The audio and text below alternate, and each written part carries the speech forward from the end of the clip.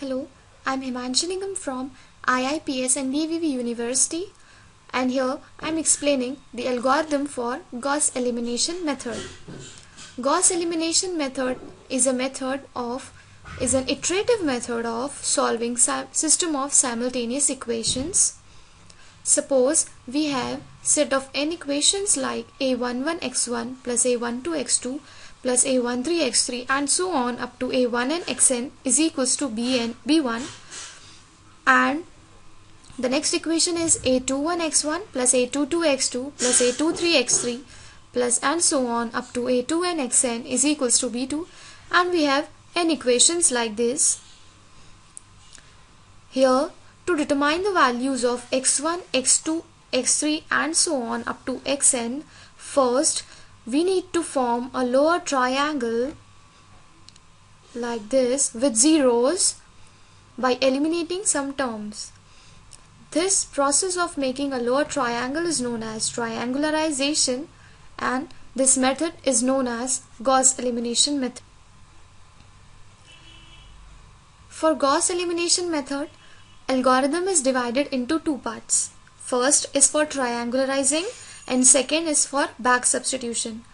First we see triangularizing n equations in n unknowns. Here triangularizing means making a lower triangle. For example like if we have three equations like this in which we have three unknowns x1, x2 and x3 and here these three are constants. Here in places of a21x1, a31x1 and a3 to x2 we have to make 0 for making a lower triangle. This is known as triangularization. Now for this we have to make an algorithm which is like this. First we need to initialize by iterating for a loop. Here iterations are represented by i in which we have first initialized i by 1 and then we goes to n in steps of 1 that is we increment i in each step and simultaneously we have made a loop for j also which is initialized to 1 and then it goes to n plus 1 that is 1 more than i. In steps of 1 it is also incremented by 1 what we do here we read aij that means we read all these coefficients of x now here the for loops ends. Now our second for loop begins of k. Here k is initialized to 1. It goes up to n minus 1 in steps of 1 like it is also incremented with 1. Here n represents the total number of equations which is 3 over here. Now our second loop which is a nested loop for i is equals to k plus 1 to n in steps of 1, we substitute the value of aik divided by akk into u which is an another variable. Here if k is equals to 1 then we put the value of ai1 divided by a11 in u.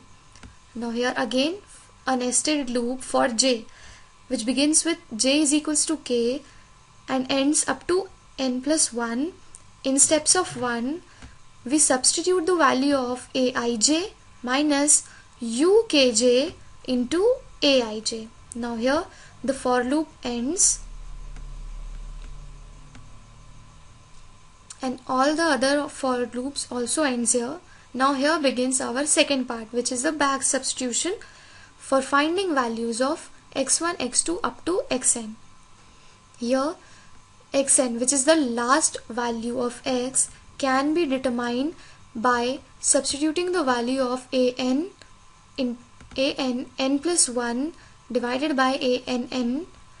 And then we begin with our for loop which starts with i is equals to n minus 1 up to n. It is a backward loop. In steps of minus 1 that means i is decremented up to it comes to 1 and then we initialize sum to 0 our next loop starts with j is equals to i plus 1 up to n. In steps of 1, we put the value of sum which is initialized to 0 plus aij xj into sum again and here the for loop ends then we find the value of xi with the help of values of ai n plus 1 minus the value of sum which we got from here whole divided by aii here our for loop ends.